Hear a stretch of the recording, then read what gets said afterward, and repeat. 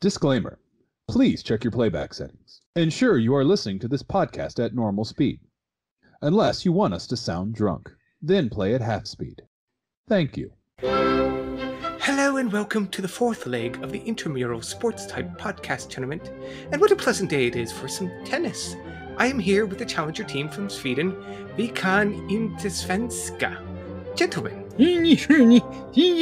tennis. A pleasure. now, gentlemen, I have been informed that you are a golf podcast and not a tennis podcast. Is that correct? tennis. Ja, we are the golfing podcast. We like to play the golf on the green with the 18 holes and lots of land in Sweden.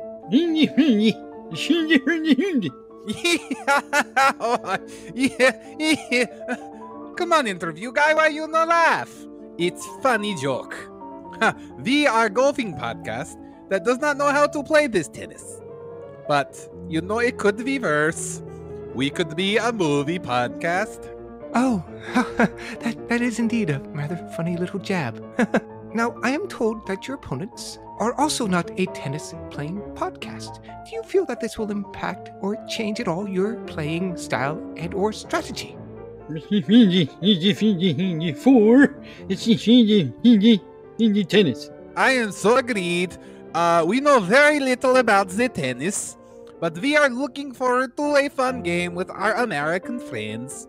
Hopefully, we can learn lots of each other. Very sporting.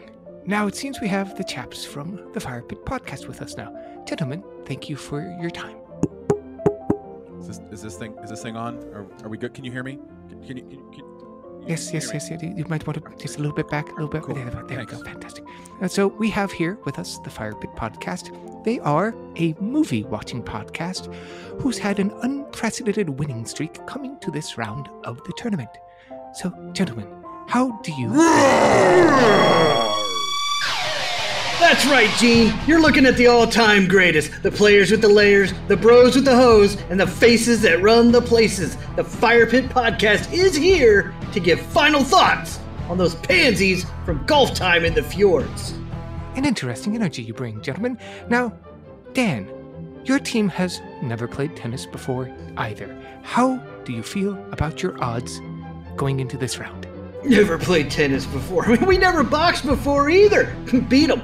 We never played football before. Beat them. Never played baseball before. Beat them. We won all of those. It doesn't matter. You line them up for us, and we just keep knocking them right down. Yeah, we're going right down on them all the way, balls deep. I. Uh, uh, yeah. Okay. Yeah. Josh. Josh. Uh-huh. Josh, come Yeah. here. Yeah. Okay. Seriously, we talked about this. You Yeah, suck at yeah. the smack talk. Leave it to me and Tom. Okay. Yeah, I know, but you know, I, just I know. No. to- No. No. Hype man. We talked about this. Okay, sorry.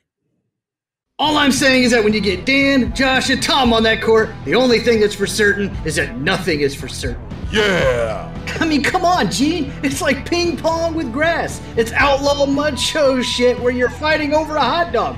Golf's not a real sport. Tennis isn't a real sport. We're not a real sport. Now, to you, Tom, the rules are very clear that there can only be two of you on the court, yet you are a three man podcast. So, have you determined your roles on the court? We're all in on this role playing, Gary. We're dressed up, dolled up, and ready to play. I love the energy, but Oh, stop. You're bad sorry. at this. Just, you know, stick to being the quiet hype Okay, man. okay, it's okay, okay. Just I- stick to being the quiet hype man. yeah, I'm Are good. you, are I'm you good. fine? I got Okay.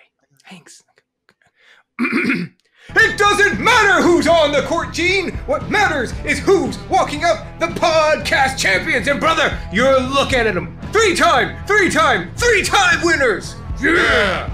I think we're all excited to see your game tonight. I'm only gonna see two things tonight.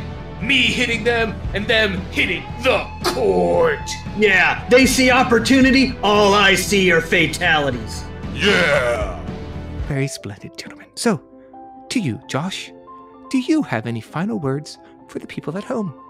And I'm all out of bubblegum. Oh god! Oh, for fuck's sake, Jesus! Oh, God, no. Um. Yeah, let's watch a movie, guys.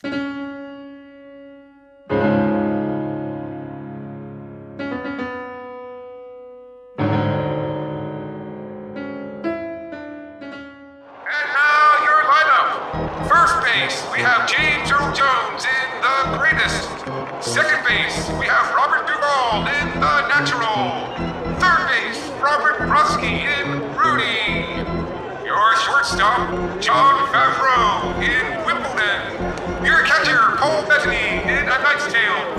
And finally, the pitcher, Alan Tudyk in 42. Dan, Tom, and Josh lead the fire pit into its next journey of the second season, striking out the competition and sliding into home with the classic Chadwick Boseman film about the legendary Jackie Robinson himself, 42! It's curveballs and clinch plays every Tuesday here at the Fire Pit. Play ball!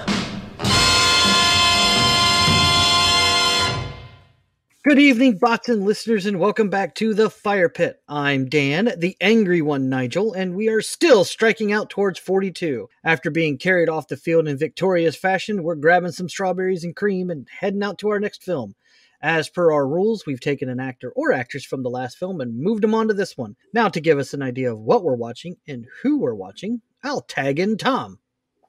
Oh, yeah, brother. Thank you, Nigel. I'm Tom, the editor, Thompson, and last week we watched Robert Prosky give some life advice and encouragement to Sean Astin in 1993's Rudy. Someone else encouraging Rudy along with his dream was Jon Favreau, whom we'll watch tonight in 2004's Wimbledon, the first rom com on the fire pit. I don't know if that's something to be praised or something to be dreaded, but that's something, yeah.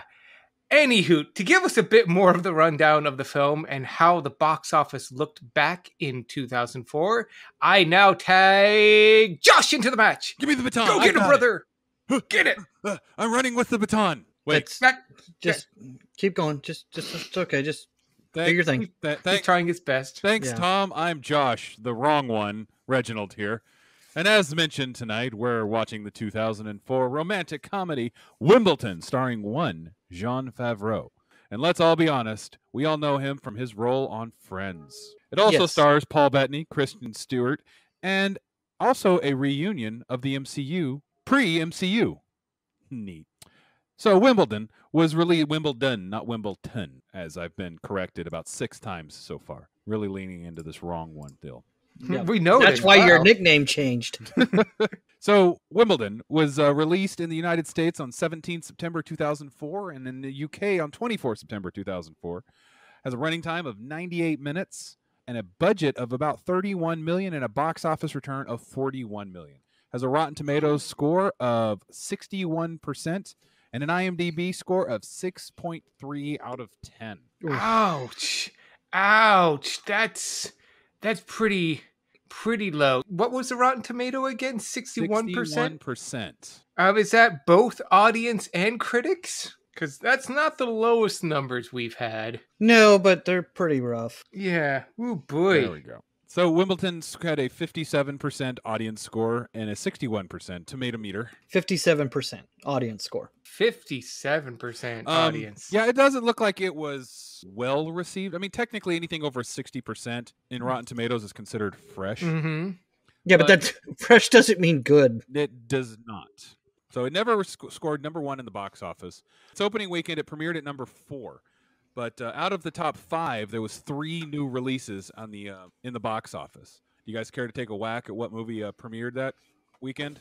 Uh, September of two thousand four. Yep, uh, it's it's an obscure one. I've only seen the movie once. It was different. Uh, I really, I, I'm drawing a blank. Uh, 2004. I want to say Shaun of the Dead, but that was October, and I don't even think I think that was 2006. So w- surprise me, Josh. Sky Captain and the World of Tomorrow. Oh God! Fuck! So it was the same weekend as um Shaun of the Dead because I saw both of those films. And okay, I'm stepping back. I really hate uh, Sky Captain: and The World of, of Tomorrow. Carry on. Sorry. Yeah, that, there's a movie I'm not in a hurry to get to. All right. Mhm. Well, uh, Tom, care to take a whack at the number two movie that weekend? Shaun of the Dead. Mister Three Thousand. Wow. Wait. What? Yeah, Wait. baseball film. The Bernie Mac movie? Yes. That movie? yes. Number two? Pulled in $8.6 million. Coming in at number three on its second week of release was Resident Evil Apocalypse. No. Yes. And then at number four, tonight's film, Wimbledon, pulling in $7.1 million. The entire box office took a giant shit in the bed. yes. September 2004 was a rough month. There is not a lot. There's a lot of familiar movies in the box office. Like um, Which Resident Evil was it again? Apocalypse was that the second, third, or twelfth one?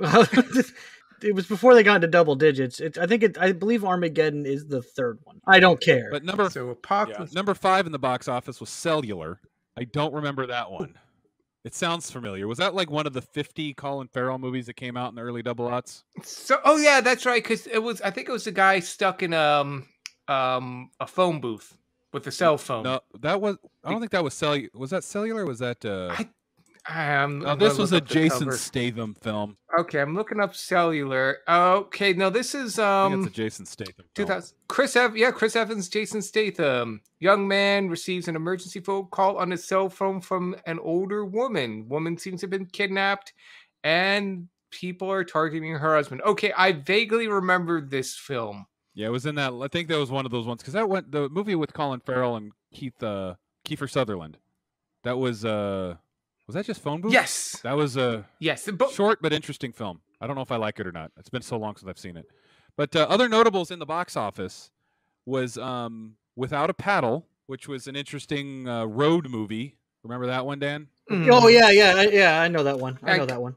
Jet Li Hero, Napoleon Dynamite at number eight on its 15th week of release. One of my uh, recent watches, but I thought it was an absolutely amazing film, was Tom Cruise's Collateral. Was at number nine on its seventh week of release. And guys, this next film at number 10, you're going to be amazed that it's at number 10 on its sixth week of release. And only it didn't even pull in two million dollars because it's such an amazing film. The Princess Diaries 2 Royal Engagement. I think I would have rather gone to see Resident Evil. I honestly thought that film was a direct to DVD. Wow. Apparently not. But uh, Bourne Supremacy at number 11, Anacondas, The Hunt for the Blood Orchid at number 12, Zach Braff's Garden State at 13, Manchurian Candidate at number 18, I Robot at 19, Super Babies, Baby Geniuses 2 at number 20, Oof. pulling in $531,000. God. Spider Man 2 was still in the theaters, so was Alien versus Predator, The Village, Harry Potter and the Prisoner of Azkaban. Okay. Yeah, there was a lot of movies. Dodgeball was on its 14th week of release. Mm. Okay, that but that was before the, the tragedy of September 2004. Oh, Oh, my god! This is the ex- remember. I think it, I can't remember what movie it was we did a couple weeks back. A couple weeks. For Yeah. no, that was uh the natural. The Natural when we were doing the Natural, and you were like listing all the movies that were in the box office that weekend, and then like that's that's one where you walk in the movie theater, and you're like, man, what do I go see today? I don't know what to, what to see today. You have choices. This one, you walk in, and you're like, I'm You gonna find out. something else to do today than go to the movies. Is you there? walk in and then you walk out. it's like I wonder what's on TV. when are they going to come up with Netflix? When are they going to invent Netflix? no, this is the weekend that Netflix was originally conceived. Mm. I mean, that's this is a this is a rough weekend. This is like the exact opposite of that weekend with the Natural.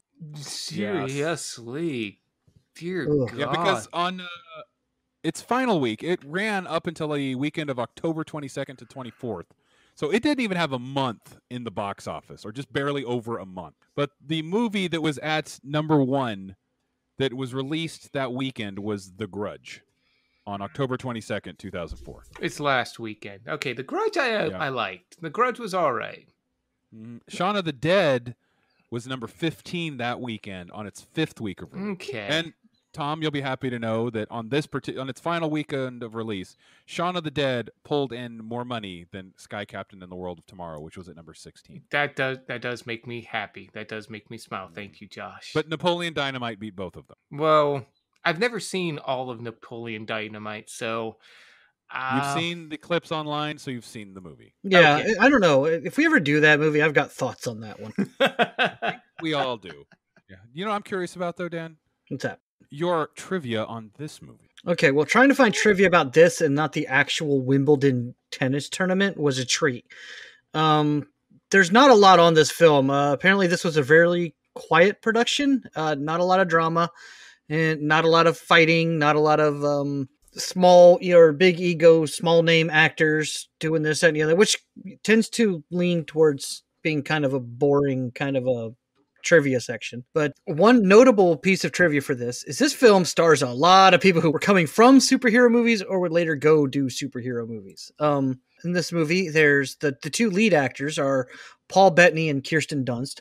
Paul Bettany, audiences now know him as Vision in the Avengers films and the MCU. He was also the voice of Jarvis in the first two Iron Man movies. Um, no, I'm sorry. He's Jarvis in three of the Iron Man movies. Or, yeah. When does he stop being Jarvis? Was it Uh, Avengers Age, of Age of Ultron? Okay. Age of Ultron. Yep. Okay, so yeah, so he's Jarvis in the first three Iron Man movies and the two of the Avengers movies, and then he goes and he's the voice and the appearance of Vision uh, in the MCU. Like I said, Kirsten Dunst was Mary Jane Watson in the Sam Raimi Spider-Man trilogy. hmm James McAvoy plays Paul Bettany's brother in this film. Uh, he's Professor X in the alternate timeline X Men movies or the X Men movies that take place before the. Well, Deadpool said it best. The timelines are getting confusing. So, but McAvoy is one of the Professor X's. He's young Professor X. Oh, and Jon Favreau's in this movie. Uh, we but we mentioned him last week. He's also he obviously has directed a couple of films, produced a couple of films in the MCU. He's also Happy Hogan in the Iron Man, Avenger, and Spider Man movies. And I think that's it. There's also um, Jamie Lannister is in this movie. Obviously, went on to do uh, Game of Thrones. And uh, And we loved him for how many seasons was there? We loved him for six years. yes, and uh, there's another guy on here. I didn't catch his name. Maybe Tom's got it, but he ends up being in The Walking Dead. Oh Um, no, I don't actually have that. Oh, Okay. Um, but yeah, this this know nothing kind of film that was in the one of the worst weekends I can ever hear about in the box office. Start a lot of people who went on to go do the MCU. Especially I would say Jon Favreau would be one of the founding fathers of the MCU, you would say. yeah, yeah. He's he's a big daddy. He is. If Yeah. without him, there would be no MCU. Yeah, yeah, without Iron Man there really is no MCU. So Mm, Jon Um, Favreau, hero. Responsible for such uh, amazing films like Elf, um, Iron Man 1 and 2, TV shows like The Mandalorian, but also also known for the amazing remake of The Lion King that is a live action but also CG and terrible. Did, that's right. He did do that. Well, and he did the he did the Jungle Book too, and the Jungle Book was incredibly mediocre. So I think that Jon Favreau is an amazing director, and I think he's a great actor. But I think some of his directorial choices are not choice. well, you know, he he does those so he can pay for the production costs on his show about him running a food truck. So it pays the bills. it's one of those things, you know. It's like if the mouse is throwing money at you, I would direct a movie for the mouse for whatever amount of money they want to give. yeah, I mean, I, will I, whore yeah, myself out for that. We would Winston that. It's like as long as there's a steady paycheck, we'll direct whatever you want us to. yeah. Yes. Yeah. Disney, hint, hint. You guys want to hear any more trivia? I got only a little bit. I don't have much, but Fire away. Yeah, All it's right. your- this one actually made sense to me after I saw the trailer for this film. The lead role that Paul Bettany plays in the movie was originally written and intended for Hugh Grant. And that makes so much sense after seeing the, the trailer for this film because this feels like a Hugh Grant movie. Mhm. This really does feel like, oh, okay, I've seen this before because it's every Hugh Grant movie. But I just thought when I saw the trailer for this film and when Tom mentioned it way back in the selection section episode, I was like, oh yeah, uh, yeah, this makes sense that this was written for Hugh Grant. This feels like a Hugh Grant film. Mhm, mhm. Oh, uh, this is the only movie to ever be filmed at the actual Wimbledon tournament. Uh, scenes with, for the movie were filmed during the Wimbledon tournament of 2003. The actors would walk onto the court at the beginning or the end of a match as though they were really competing. The officials and spectators were actual tennis officials and spectators. They were not extras or actors. This is the only time in the history of the tournament that this has been allowed. Normally, like this tournament is for tennis fans, of which if after you've heard our intro or a cold open, you'll know that we're not tennis fans because we didn't know anything about the game. But uh, for tennis fans, Wimbledon's like the big tournament. That's their Super Bowl. It's their Masters tournament. It's their World Series. Like Wimbledon's the big one.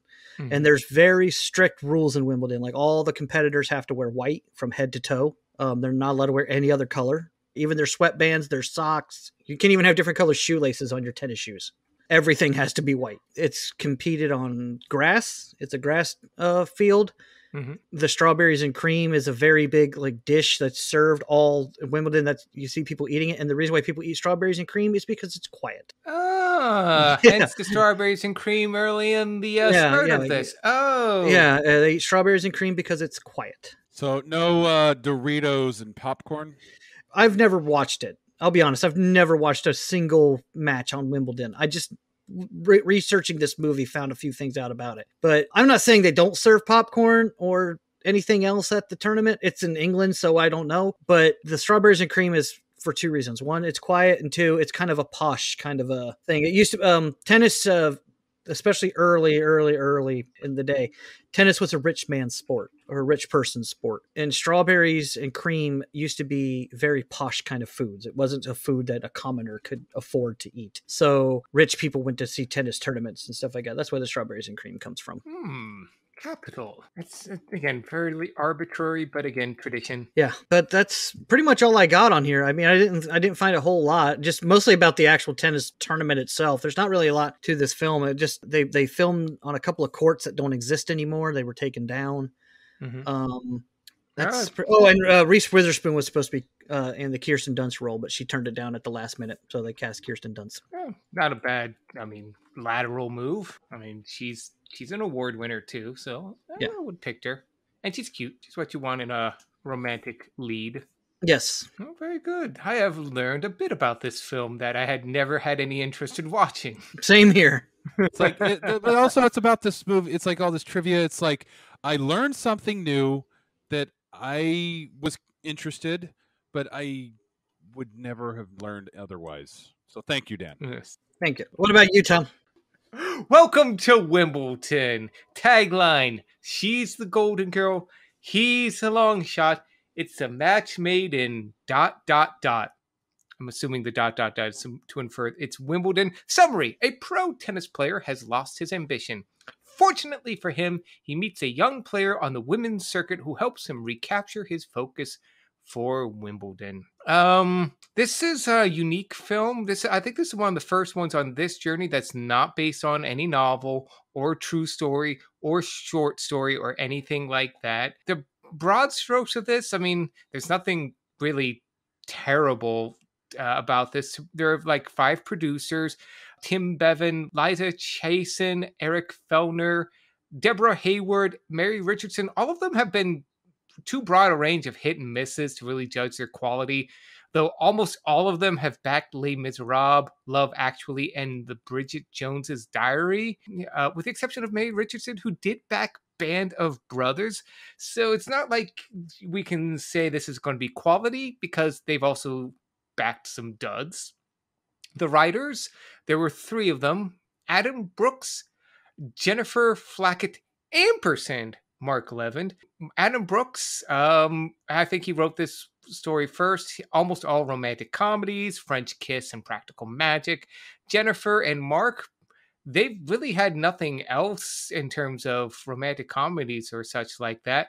Uh, both worked on TV series before this, Earth 2 and the movie Madeline. They've also done Journey to the Center of the Earth and currently work on Big Mouth on the Netflix series. I'm assuming that Brooks wrote it first and then these other two came in to doll it up. Uh, so I don't know how to feel about that. The director, Richard Loncraine, no rom coms under his belt. The closest thing I can find to like comedy was a movie called The Missionary starring Michael Palin. The rest would be are just dramas, none of which I'd recognize. And Nigel kind of already talked about the cast of this. We've got a few returning favorites, like you said, Jon Favreau. We all know him from MCU. He plays Ron Roth. He was the friend character. Sam Neill plays Dennis Bradbury, who we know from this podcast from Dead Calm and Hunt for Red October. He plays Kirsten Dunst's dad here. We know he's a solid actor. Both of them are solid. And, you know, for the main characters, Paul Bettany and Kirsten Dunst, great stuff, both of them. And Dan's already mentioned the rest of the cast. So if you're a comic book geek, you're going to like seeing James McAvoy with Happy Hogan and Vision, uh, but not much else for this. There's no drama, there's no inspiration. It's not like I really want to make this film, and there's no awards. I didn't even get Razzies. No, I think it's just like your standard. We need a rom com to fill this season, so let's make a rom com. Regarding your box office, Josh, and how low that was, I have a hypothesis. Um, but I'm going to get into that with my uh, expectations. But I'm that's kind of all there is for this film. So, Nigel, with all that we know and don't know, what are your ex- expectations about this film going? Oh, so low. and no, no, Oh, no, that's not, a Star not, Wars story. Yeah, that's a Star Wars film that that also isn't very good. Um, no, uh, I do remember when this movie came out, and my initial thought was, I'm so glad that I'm not dating anybody that's going to drag me to go see this. Like, thank God. But uh, and now I'm not dating you guys, but I got dragged to go see it. It just took a few years. Gets you in the end. yeah, You're seeing but, um, Tom, and he's going to see take you to see this movie because he had yeah. to see yeah. it. but uh no my expectations are pretty low. I don't think i'm gonna enjoy this film. I'm not the biggest fan of romantic comedies. There's a few that i like but that's also because they tend to transcend being a romantic comedy. Um and i'm pretty sure this one's not going to especially when i've read that it was originally written for hugh grant and i'm like i've watched every hugh grant film and Says the guy who hates Like- romantic comedies. well i've dated and i've watched them i just don't like them but um Fair point. I haven't watched every Hugh Grant film, but I've I've seen like you know Four Weddings and a Funeral and all that, and I'm like, okay, this movie feels like it's going to be Four Weddings and a Funeral, except tennis. I, I'm just I don't know, I'm just not looking forward to it. Um, I know Paul Bettany's a good actor, and Kirsten Dunst's actually a good actress, Jon Favreau and James McAvoy. That's like they're good actors, and I'm just not the biggest fan of romantic comedies. I'm not looking forward to this film, and I think I'm going to hate it. So my expectations are pretty pretty low. Um, and that's pretty much all I've got. Uh, what about you, Tom? Uh, I'm cynical about this film. This whole thing smells of cash grab. The fact that they picked Paul Bettany, who at this point just really didn't have anything for him, he was just like a audible grab. There, I looked this up uh, in the background. I was trying to get meta. There are so many tax abatements and tax bonuses that you get from filming in Great Britain. So I'm looking at Paul Bettany. Who's like, why pick him? Because he's so cheap that the British government will pay you his salary to film in Great Britain. Same with so many of these. So ah, this is gonna be a bullshit film. By the numbers, just uh disgusting. If I was looking to get laid in 2004 and I was dating a basic girl, this would be perfect. But since I'm not, um, I've got some scotch on the side, so I'm going to make the most of this night. Josh, what about you? Um, I have no expectations of this film. I look at this film the same way you would look at a room and think it would look amazing in beige. I, I expect to enjoy this film as I would a four-hour drive through Kansas. now you're just So- getting mean, Josh. I am just I'm not expecting much out of this. I think it's going to be a sightseeing tour like, "Oh, look, it's Professor X." And, "Oh, look, it's Vision." And, "Oh, look, it's this guy." And cuz that's rom-coms in the early double aughts was let's get all these big name actors and have them be in the show for about 37 seconds so we can put them on the poster. And they all agreed because they needed a paycheck so they could Yeah. uh, buy a new Subaru. yeah. Yes, cuz let's be honest, it's Australian for beer. But the Wait. um What? That what? Moving on. the, the- the joke only works if you don't overthink it. oh God! Wow, we are. This is, I think this is the most cynical all of us have ever gone into a film. like i don't like I, I don't know. It might end up being an okay film. We watched the natural and we all came out with that one with a negative overall review but we still thought the movie had its good elements. We felt the story was weak. Like slipstream is another perfect example we got out of that movie and we're like i didn't hate it so i'm honestly i'm not expecting to like loathe this movie because have been having been married for going on 16 years i have had to watch my fair share of rom-coms Yeah, same here. So um, it's one of those things. It's an acquired taste if it's shoved down your throat for over a decade. it just feels like this is a paint by numbers rom com. Like the, the ones that I enjoy do something a little bit different, or you know, but yeah, I don't know. yeah, like I don't mind the rom coms that have kind of a like a supernatural element or just some kind of a gimmick. Like uh, what was it the John Cusack one, Serendipity? Oh yeah, yeah, yeah. Where he's uh, they put the number in the book and he finds it eventually, like ten Yeah. years later. Yeah. like I, I like there was some of the serendipitous moments they really played into the title and i remember laughing and thinking oh my god when i was watching that film granted i'm not ever gonna like pick it up and watch it again unless my wife's like we're gonna watch this movie tonight. So if i come out of this movie and i find it mediocre i'll be fine with that. If i like the movie to the point where it's like yeah that was a good movie i'll never watch it again that would be a high expectation. But yeah. Oof. It's going to be interesting. it will. So tom we've already got two bad movies in this or one bad movie in this uh, journey. Technically two if you count the natural so let's see how if you're going to bat a thousand or not. But you were saying? Uh, no, I'd say I'd say you want to know what else is interesting? What's okay? Never mind then. no, but, but you know what what is would be interesting What's that, Josh? Tom, play the music. i'll have what she's having Wow, we're all learning the title of the wrong ones tonight. the tom Uh, what? What?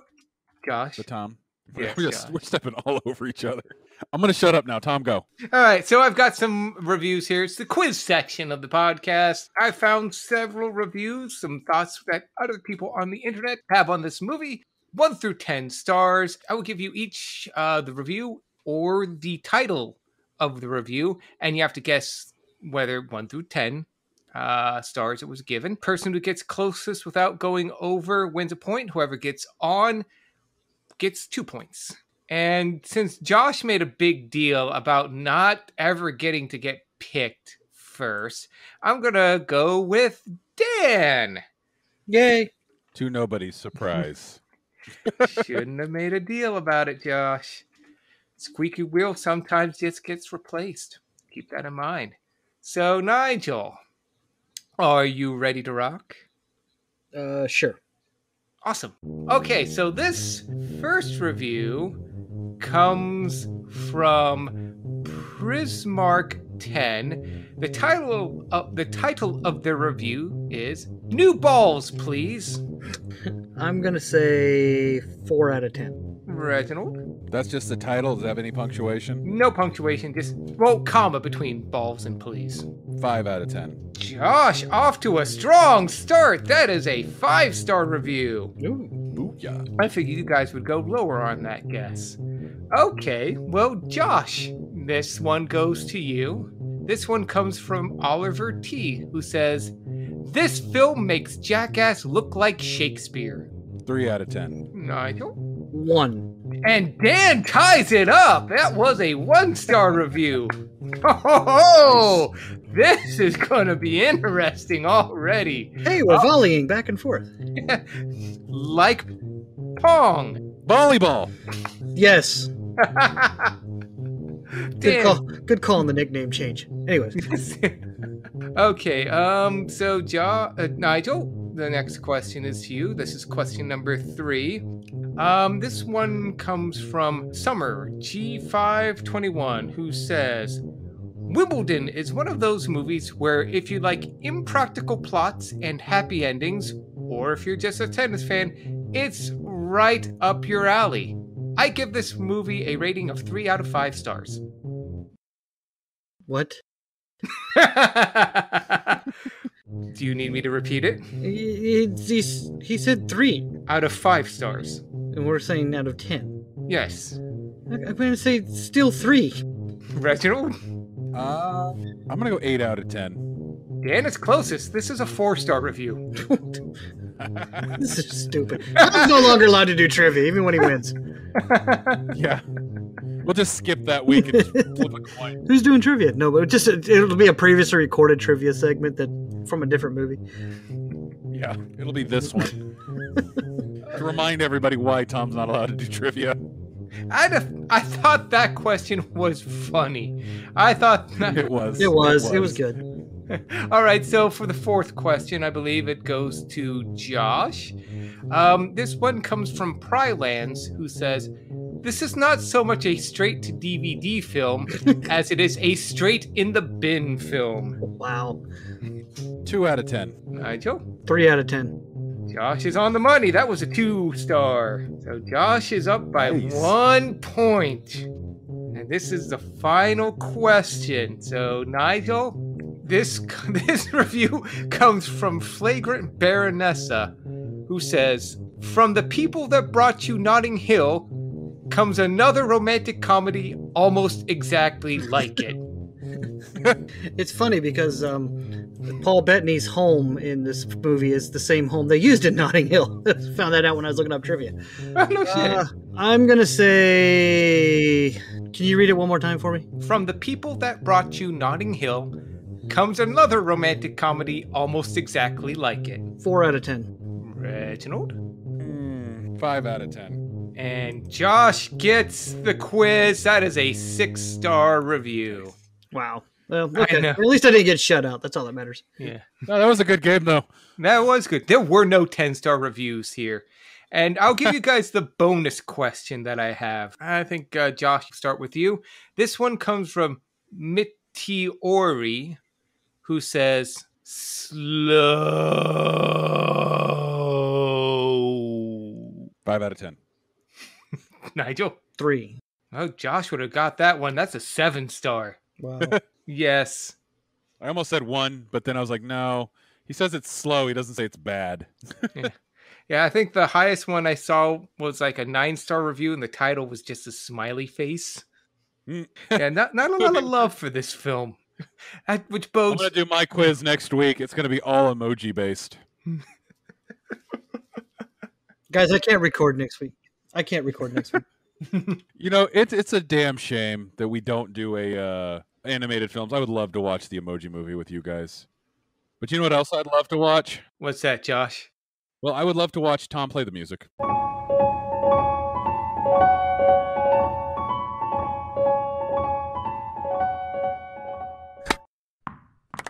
Welcome back to another overhead smashing episode of The Fire Pit. I am, as always, your interspersal host, editor, and line judge, Tom. And unless they extended the sidelines to the end of the bleachers, I'd say that last shot was just a bit out of bounds. Also, could we have someone call that poor child an ambulance?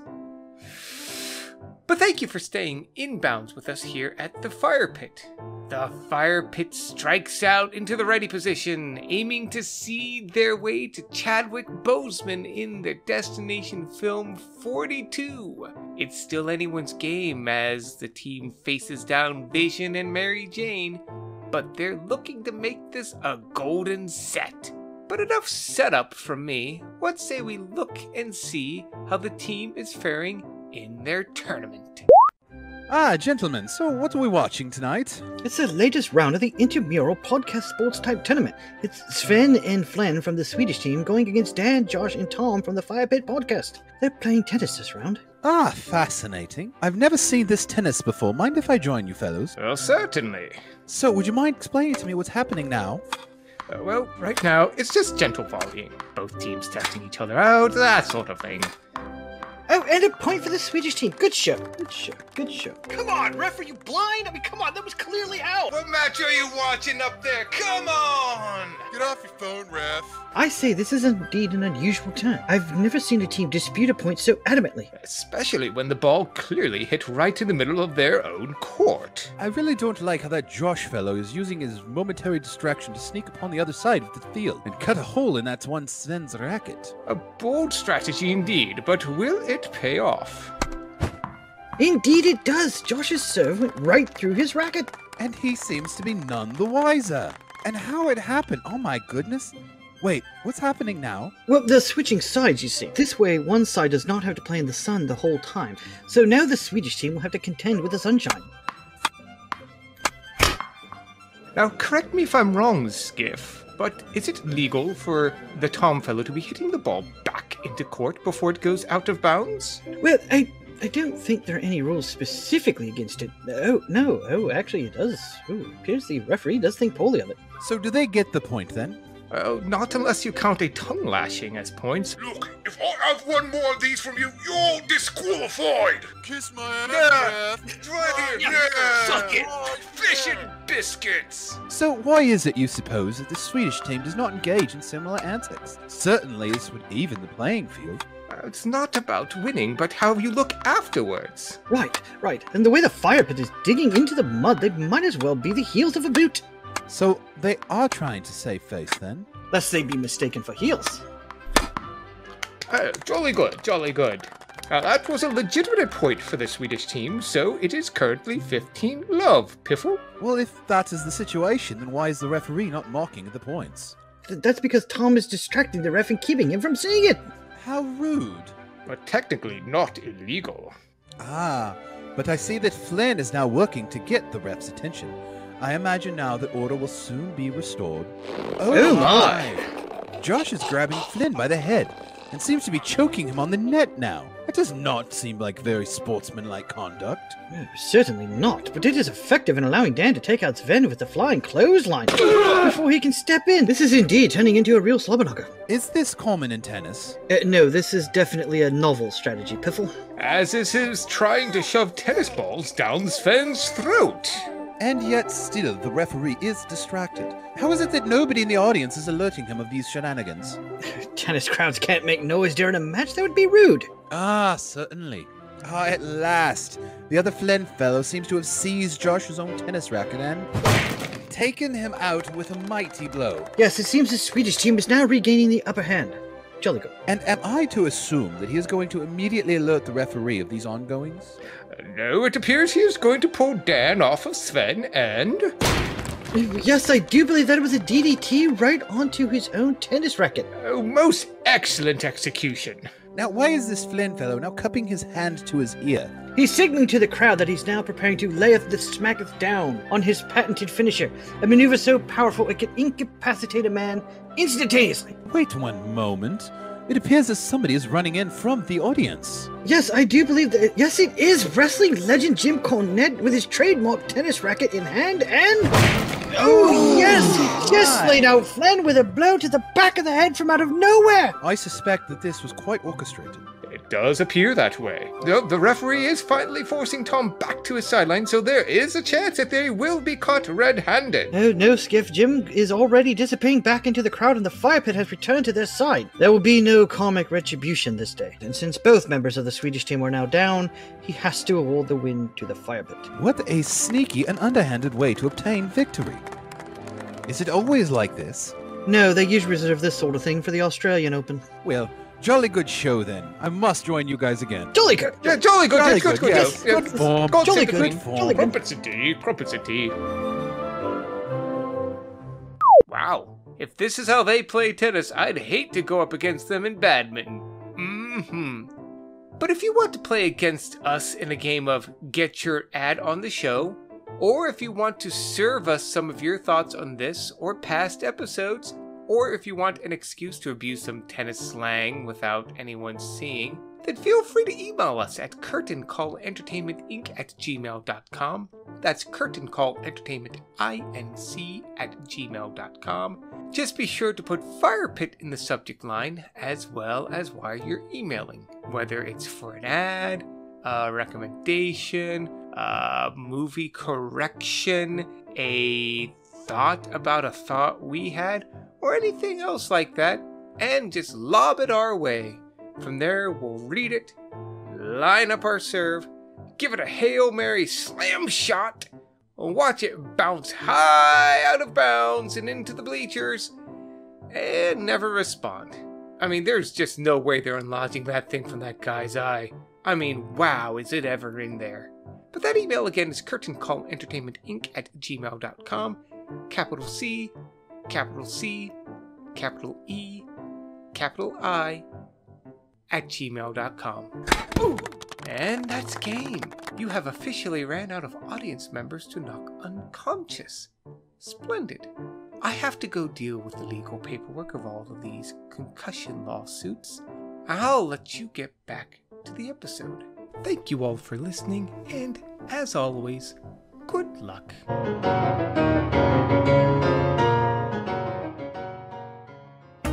And now to check on the team to see how they're enjoying their movie. Dan's thoughts it couldn't be an essay. No, I just keep typing, backing, backspacing, and retyping, backspacing, but my font keeps getting bigger. Fuck this movie. This movie is already very pretentious. It's tennis in England. Oh, uh, something I forgot to read in my trivia section. Um, it was really hard to get actors to convincingly play tennis like professionals, so they just had them doing the moves, and most of the time the ball was CGI put in there. You're shitting me. No, because it was really hard to get them to hit the ball like volley like professional tennis players. So they just had them doing the moves, and then they added the ball in post. That's like several million dollars. They couldn't just have people throw the ball off screen and just hit. Apparently not. You're probably wondering how I got here. No, we're not. You guys can you talk down to me all you want, you little bastards, but which one of you is going to be in the fucking MCU in 10 years? That's what I thought. Fuck you. Posh British bastards. Is Kirsten Dunst going to be in there? It's going to be a, a sexy mix up. Please tell me there's going to be a sexy mix up with Kirsten Dunst. Oh, Tom, you were right. Here's the sexy mix up. Yep. Hold on. Who's uh who's doing um romantic comedy bingo? You can tell he's rich because he could get a beer out of the minibar. Oh my god. I know she could do better than this. He can too. Well, he's actually. I think he's trying a Oh, little I don't bit. think Paul Bettany is that. I think Paul Bettany is at least trying to turn in a B paper. like she's like, I have an A in the class already. I don't care what I get on this one. So I'm- she just wrote "fuck" and "you" on two pages for the two-page paper. I'm already locked into Spider-Man 3. I'm making that money. It's fine. Oh yeah, this movie was definitely written for Hugh Grant. That was definitely like, oh, Hugh Grant, awkward before, during, and after sex. Yeah, that's a that's a trope. Okay.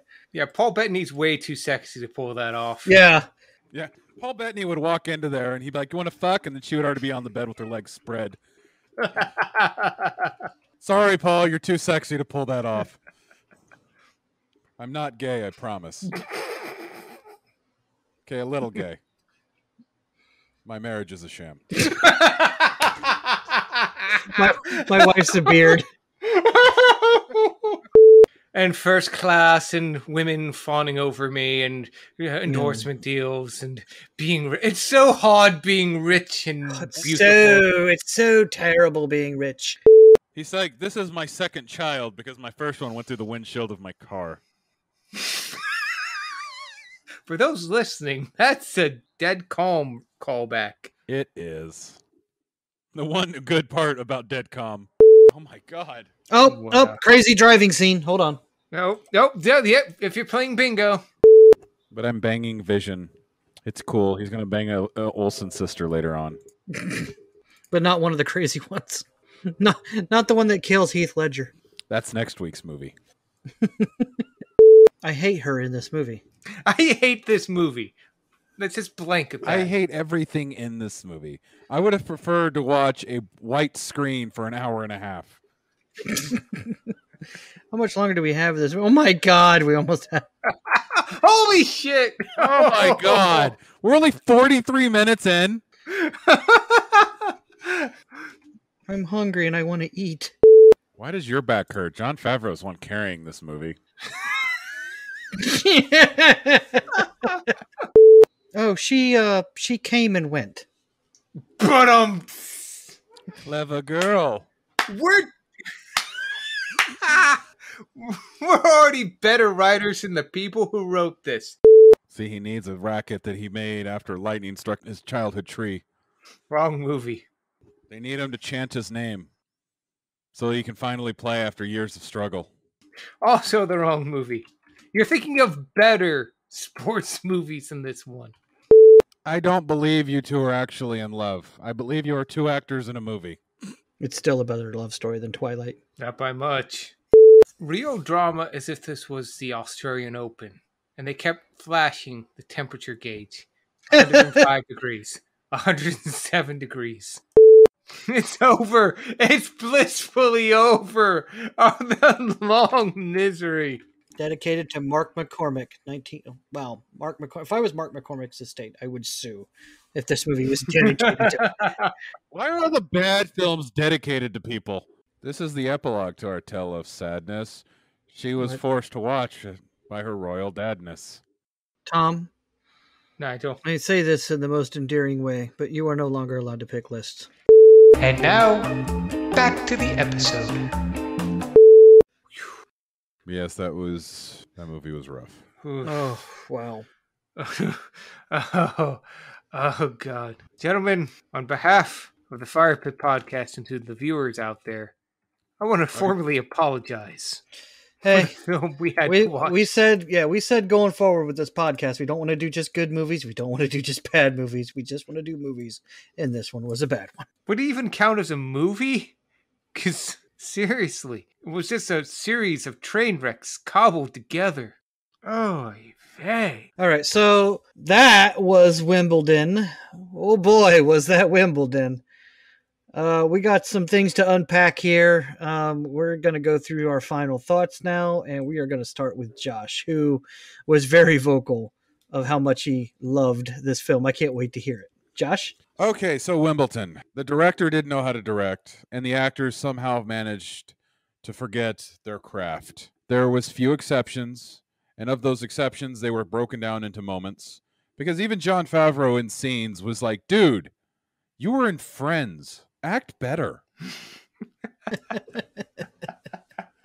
like seriously, this th- like I get what they were trying to go for, and I can see that this film would look good on paper. Like a guy meeting a girl, and it drives him to go from being one of the worst ranked players at this tournament to winning it. You know, um, it's their love that pushed him, type thing. I could see the soggy mess that they wanted us to lick up, but at the same time. The execution was incredibly poor. Like, remember back in The Natural, how we talked about how everything encompassing that movie was great except the story? Yeah. I can see the story they wanted in this one. Just everything surrounding the story was shit.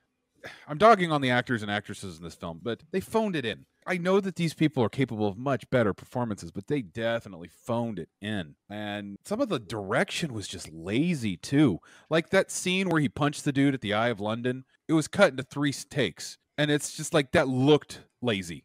Um, I will give it this.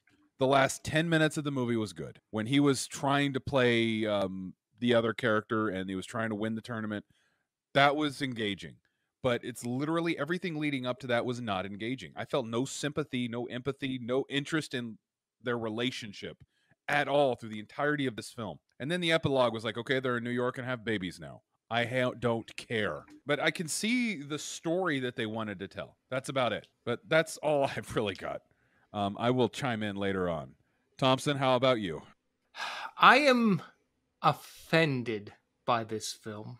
Oh, God. I- this dead calm levels here. I'm insulted even, and I will tell you why. Because Britain loves when Hollywood makes films there. And around the time this film was made, London itself rewarded productions by refunding between 20 to 25% of the money spent on everything. This includes costumes, catering, and CG. To that point, they would also refund with grants and such up to $300,000 per writer, director, actor for everything they did.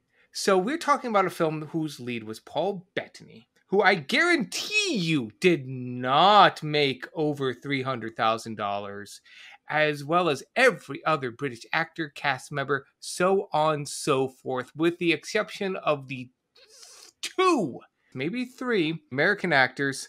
They didn't have to pay a goddamned dime for anyone who worked on this film. So I'm not only pissed off that this thing made more money than it actually probably did on paper, they didn't spend practically anything to make this two dimensional, paint by numbers, phoned in insult of a film. My God, did anyone care in this movie. Jesus God. What frustrates me more, and I I'm going to build on what you said, Josh. There were options. There there were there was potential here in the story. You had McAvoy's character who was gambling, and the fact that he always bet against his brother.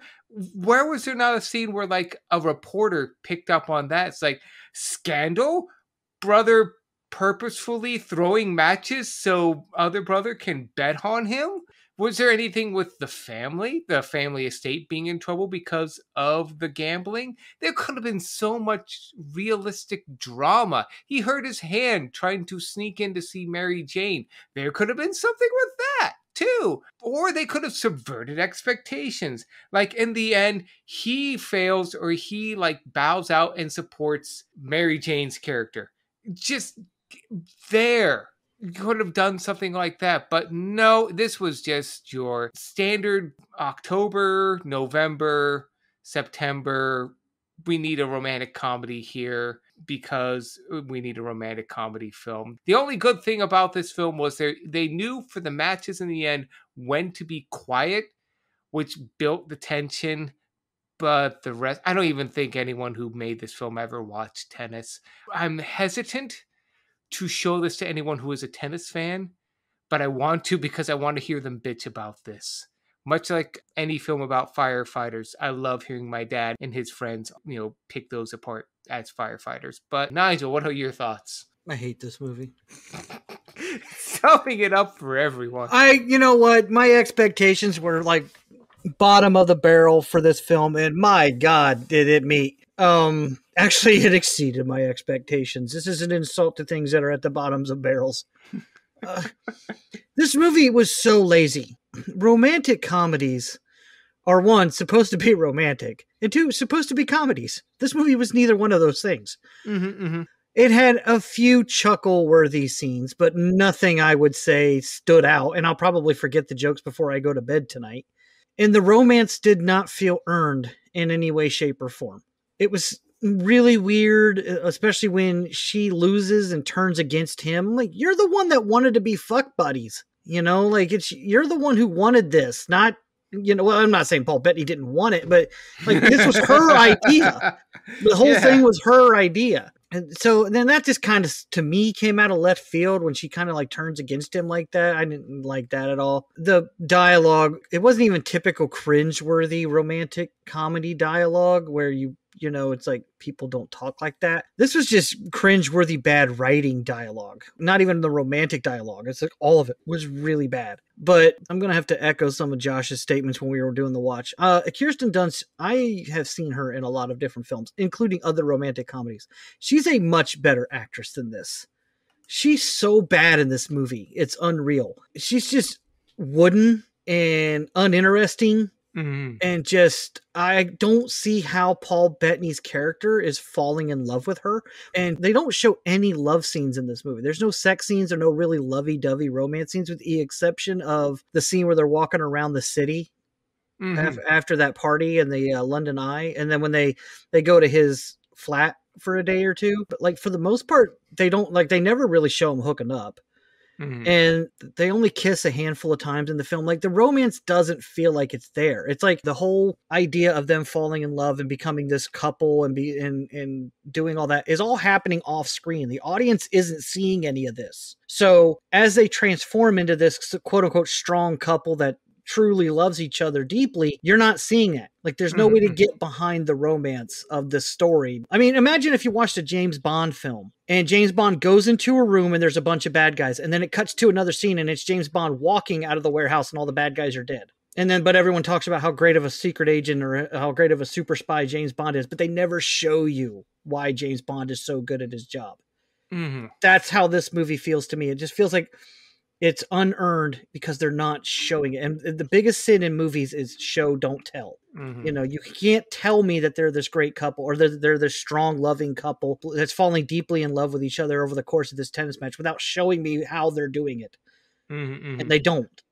So you could say that Jamie Lannister and his sister had more chemistry. They did. I'm not lying. They I- did. I was going to say Sandra Bullock and Keanu Reeves and Speed had more Yeah. chemistry. It's like, like I said, I've seen Kirsten Dunst in other films. Like, you know, when she's in the Raimi Spider Man movies, they show her and Peter falling in love. They don't just tell you that, oh, yeah, they're falling in love, which is what this movie does. This movie says, no, trust us, they're a couple. Well, I don't, I can't tell how. Yeah, she bangs him and then she's in love with him.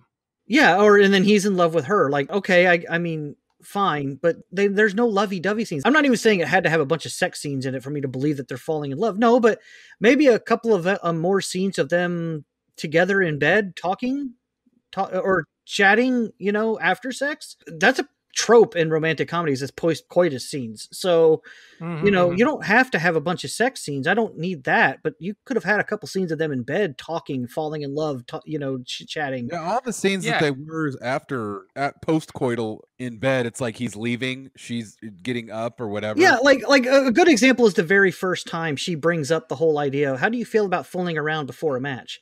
And he's all like, "Well, I haven't done enough research to know if it's a good thing or not, but I'm I'm curious about the research." And she goes, "I'll bet you are." And then it cuts to the night, like because that that scene was in during the day, and then it cuts to the night of them on the balcony of that hotel room talking, and it's implied that they've had sex. However, they're fully dressed, and they're just chatting like they've been carrying on that whole conversation all afternoon. You have no idea that they actually had sex, if unless they have to come right out and tell you, "Oh yeah, they they banged at some point in time in the afternoon." And to, to support that too, any real conversation that I had was her just patting him on the head and say, "You can do it, buddy. You still got what it takes to win Wimbledon. Mm-hmm. Yeah, Go it's for it." Like I said, there's just no scenes of them falling in love, or at least nothing realistic, and you can't do that if th- that's the base of your story. Whether it's a super spy movie or a war movie or a romantic movie like this is supposed to be, or a superhero film, I mean, you can't just tell the audience no they're a great couple. And that's that was what really bothered me about the storytelling in this is that the couple in this film just it's so wooden. I haven't seen this kind of wooden acting in a quote unquote romantic setting since twilight. Like just two leads that have no chemistry whatsoever. And just i can't believe that this is them falling in love. And kirsten dunst is a much better actress than this. Oh yeah she wasn't convincing at all even in the first half. Like what was we 40 minutes in and we're like oh my god well, I think it comes down to directing. Uh, we joked while we were watching, you know, your one and done director. Maybe he was. Maybe he was just like, that's good. It's like, are you sure? Are you sure that was like that was the rehearsal take? You were recording through that? Like, yeah, let's move on. Really? That's what it felt like. Yeah. Yeah. Like no coverage, no real anything behind that. Oh, yeah. and that ooh, the denouement at the end, like the whole like, and now we live in Brooklyn, like. We, yeah, well, it's definitely implied they moved back to America, where um, whatever city she's from. But like I said, the epilogue would have been fine if the romance in the movie had been more realistically portrayed. Yeah, and the fact that they were like what seemed like the not best part of New York City implied that they lost their fortunes. Was there a storyline where like his family was going to go bankrupt and her dad was going to disown her if they got together? Yeah, so Nigel, no, I I agree with you in every point you're making here, both you and Josh. For the listeners out there, if you want to watch a good tennis movie, watch Match Point. At least there you get Scarlett Johansson trying. Eh, this film was just bollocks. Yeah, I agree. And and just they told us at the beginning of the film. Ah, oh my god, he did warn us. Yes. Oh man. Would you even watch this as a try to get laid film? No, no. It better be mind blowing sex. I'm just saying. She better be hot and yeah. worth ruining my marriage. Yeah, it, get on top and spin, and I'll we'll we'll talk. Like if you're if, if she's hot enough to where I'm willing to ruin my marriage for her, and she's like, "This is my absolute favorite film. I have to watch this movie before doing it." Then no, definitely not. I would say, "Fuck you. This show sucks." Yeah, and if it's a test, if you can get through this movie, I'll we'll have sex. Uh, I'm out. Not worth it. What ruining your marriage? Yeah, not worth it. No, no, watching no. this movie. Yeah, I'm not doing it. No. So single use back in 2004, horny and fresh in college, you still wouldn't. Fuck no. If I've never seen the movie before, maybe. Yeah, if I okay, if I hadn't seen it before, but no, I'm not. But yeah, I've already blew my load was, all over you guys, so it's not gonna happen. Yeah, this movie was terrible. I, this movie was just awful. Yeah. Do you guys feel this is the worst film we've seen so far? I mean, the, in the entire span of this podcast. It's up there with me with Pathfinder, where there's very few redeeming qualities that I can really latch onto. Like, and even Pathfinder, I, I always joke, and we we became a running gag that it's it's got good cinematography and it's it's a beautifully shot film, but other than that, it's awful. This movie, I don't know. I'm having a hard time finding anything to hang my hat on. Even the even the natural, which I turned against, was like, well, the performances were pretty good in the natural, and the music was pretty good, and I did like the the period setting. That was neat. This movie, I'm not finding anything. Josh, what about you? Um, I'm thinking. I'm thinking. Um, I don't know. Like, if I was to rank this in terms of bad films, of all the worst films we've seen, like I don't know, it's like Pathfinder, Swashbuckler, Swing Dead Vote, Calm, Dead Calm. I would definitely put it in the Swing Vote Dead Calm category. The greatest. The greatest is definitely worse than this. Yeah, the greatest is worse than this, but this is just a bad film all around. Yeah. It's just bad. I can't find anything I'm really just like. Even the parts I- that I did enjoy. Oh, go ahead, Josh. I'm sorry. I was just gonna say I can see enough through the shit of this film that I can see how somebody could enjoy it though. Like I can legitimately see how somebody could enjoy this film. I wouldn't understand it, but I can Mhm. see how that, that they could do they could, you know? Well, I'm I'm of the opinion this is one of the worst films we've seen, just because with all the talent behind it, and at least in acting wise, and the fact that they just uh, didn't use any of it, abuse. They didn't even show up to class. They I would watch this before watching The Shootist again. That's for your mom, Tom. That's what you said. I would probably watch this before watching the original True Grit again. Oh That no, I'd you, watch. Dan. I would definitely watch both of those films. Yeah, I would watch True film. Grit again before this for sure. I, I just this movie to me was just terrible all around. Just Yeah, True Grit had parts of it I liked. I can hang my you know hang on the some of the performances or something in True Grit. Even the parts I did kind of enjoy. Like I thought Jon Favreau wasn't bad, and James McAvoy wasn't bad, but I wouldn't tell somebody who's even a big diehard fan of those particular actors, you need to go and check out Wimbledon just for their scenes alone. No. James Yeah. McAvoy's in better movies. Jon Favreau's in better movies. If you want to go watch their performances, go watch those movies. yeah. The only good thing that we got out of this was that uh, Paul Bettany became Vision. That's Yeah. the only good thing that came out of this. Yeah, I would say that James McAvoy put in a better performance in Deadpool 2. Yes. He was in that for five seconds. That's the joke. I don't even think he was in five seconds. He closed the door, and that was still better acting than this entire film. But I've hit all my notes, guys. I'm just going to continue to get more Yeah. and more pissed We're de- we're definitely circling the drain in terms of thoughts here. Oh my god. Don't watch this movie, not even if you want to get laid. Uh, and well, you know what? That's it. This movie sucks, and we're heading out the gate on this one. So that does it for tonight's show. Um, as a reminder, you can find us on Spotify, iTunes, Amazon, or wherever fine podcasts are sold or downloaded. Our regular episodes are Tuesdays at six. Please like and subscribe, whatever medium you choose. We really appreciate it. Helps us out. Also, uh, if uh, you listen to the podcast whether you listen to it once or regularly, please leave a review. It helps us uh, grow. It helps us uh, get linked to searches in uh, mediums, especially if you're a movie fan and, and you like to listen to different movie podcasts. You'll find us on the search. So thank you. And be sure to join us on Discord channel as well. The link in the episode's description can be found at discord.me slash firepit. There you'll get notifications, new episodes, and even better, get to discuss with other fans of the podcast about some of the episodes we've made and some of the movies we've seen. You can join them in agreeing with us about this movie. Uh, that it was an absolute waste of an hour and a half. You could have done better hitting your head against the wall. And it's a fun time on the Discord channel, not this movie. So join them. And uh, if you want to leave us a nice short, curt message, hit us up on Twitter at FirePitCCE. Um, that's our Twitter handle. So we'll accept anything up to 160 characters. That's that's the Twitter limit, right, guys? I don't tweet the tweets. Yes, Um, it's about the tw- yeah. But um, but if you want to send us something a little bit longer and a little bit more in depth and a little bit more hate filled that you couldn't get out in 160 characters or less, uh, feel free to shoot us an email at curtaincallinc at gmail.com. Um, we'll happily accept it. We'll happily read it or do whatever the guy at the interspersal said he'll do. Mild correction. It's Curtain Call Entertainment, INC at gmail.com. Capital C, capital C. Curtain Call Entertainment INC at gmail.com. Thank you, Dan. we don't copy and paste this from the previous week's episode. Professional podcasters, professional podcasters, ladies and gentlemen. So, Nigel, any shout outs while uh, Josh is throwing all of us under the bus? Yeah, I got two special shout outs this week. Uh, one, I'll, I'll shout out Peggy, the OG friend of the channel. Uh, always appreciate her listening to us, giving me the feedback and all that. And two, anyone who's listened to our podcast knows that we're all three diehard astronaut fans, fans of space travel and NASA and all that. So, uh, shout out to the late Michael Collins and his estate, and his family.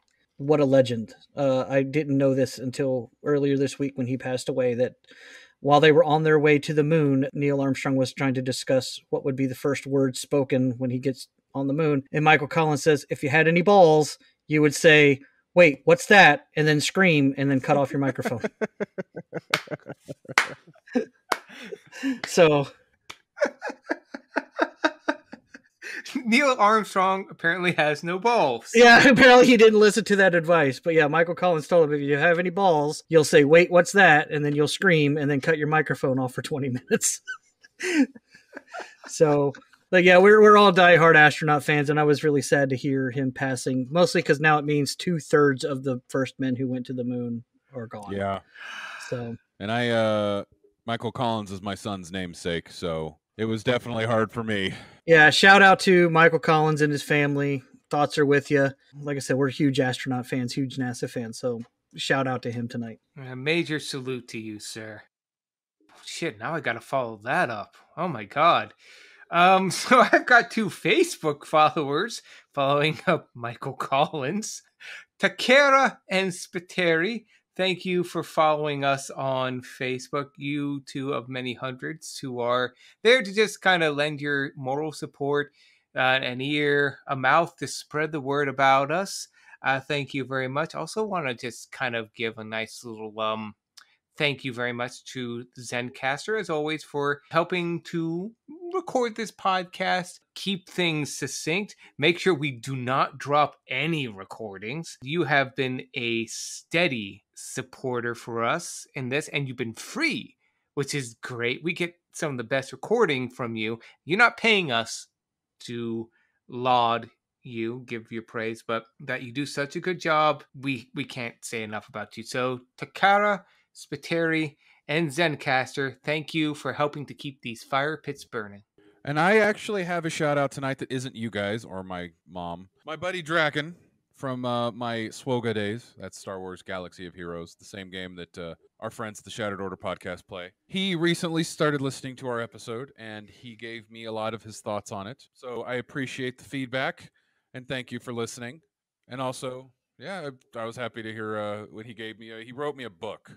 I'm trying to find a quote that he said, but uh, he definitely was a gave some constructive criticism as well as some uh, praise. So. Was he the guy from rudy who told rudy he would never make it or was he the guy from rudy he, who said go for it yes, awesome. That's what i thought. So that's been this episode. So where are we going to next team what's what are we galloping towards for our next movie Well, we're up for some badass 80s music and a 1400 setting. Uh, Oh. It's jousting, Josh. So it'd be like the 900s. So yeah, I don't know. I don't know history well, so Josh doesn't know history before the Wright brothers discovered how to fly. He's an Yeah. expert on that stuff, but when it comes to anything that happens before if you flight, need help on orbital mechanics, I'm good. But if you need me to tell you what year they invented rice, I am at a loss. so yes, there was jousting in Game of Thrones too before it sucked. yes but unfortunately not We watched Jaime Lannister tonight. We, did. and he was one of the better parts of this film so kudos to you um jaime lannister We're but up unfortunately here, Tom. We're closing up. Don't don't talk about the movie. Um, no, I'm done. I was going to say we're going to follow Paul Bettany into the Man, you Tale. got just a really shi shitty uh, armor there, man. You just let me tear you down pretty quick. Looks like you need to have a hot chick make you some awesome armor. A Knight's Tale is the next movie we're going to watch, is what we're trying to say. This movie sucked. Hopefully, a Knight's, No. a Knight's Tale will be better. Yeah, A Knight's Tale should be better. Actually, I, it's been a while since I've seen that movie, but I do remember liking it. Um, even though it's about as well, it's not historically accurate at all. Oh, Uh, God, no. no, it's not historically accurate. But until next week, I've been Dan. I've been Tom. And I've been Josh. Thanks for listening. This has been a production of Curtain Call Entertainment LLC. Stay safe out there.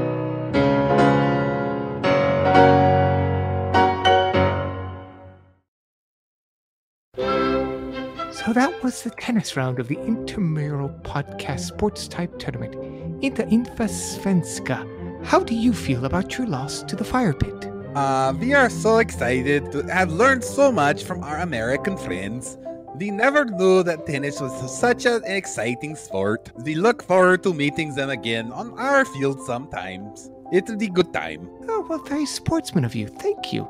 And to the fire pit, how do you feel after your win by disqualification? I'm telling you, it's a tragedy, Gene. We won by DQ, but the real DQ is them. I DQ them. I DQ them forever. Forever, I say. Yeah, and I like ice cream too from Dairy Queen. It's awesome when it's dipped in chocolate. Guys, they are D- DQ. Wait, Josh, th- that doesn't make sense, buddy. Here's your packet, fellows. Ah! Ugh. Ah, Damn it. God damn it. You know what else doesn't make sense? Uh, tennis. I told you it wasn't a real sport. I told you it was all rigged against us. Ow. Wait, but Dan, we won. I want to take pictures of my Subaru after a rain. It's so shiny. Oh God, thank you. I never mind. I gotta call the hospital and tell them that we're coming. Just do you, what's what's Britain's number for nine one one? Well, I guess this was tennis. Thank you all for joining, and as always. Oh, yeah.